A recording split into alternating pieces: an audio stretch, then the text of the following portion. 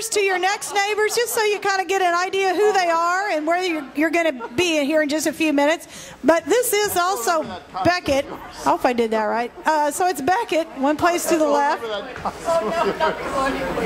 Okay. So this dance starts out with a circle left three places. If you, tell them everything, what are we going to get to tell? and up here. Okay, so um, man, you've got your uh, partner in your right hand. Keep your uh, partner in your right hand and drop your neighbor's hand. Okay. Keep men's right.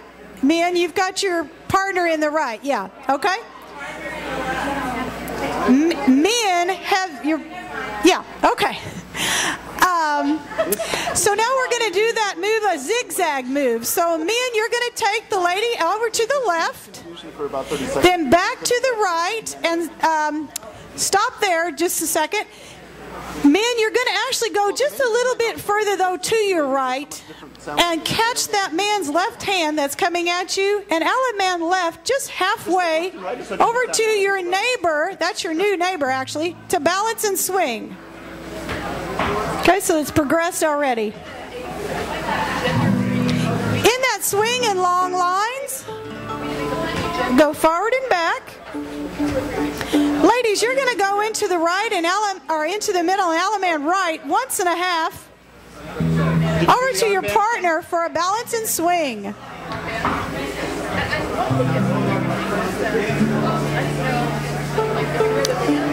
And the dance will start over here. So circle left three places. Zig left. Zag right. And then men catch left hands, allemande left halfway over to your new neighbor to balance and swing. Long lines forward and back. Ladies by the right, once and a half.